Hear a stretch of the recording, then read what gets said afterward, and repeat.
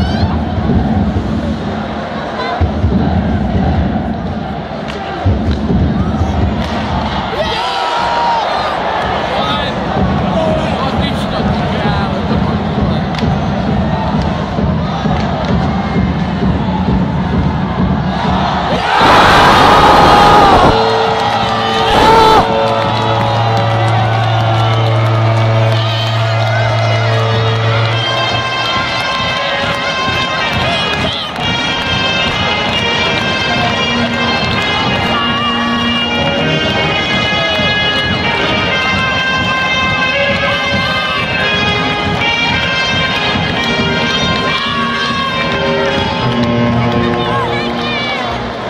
44.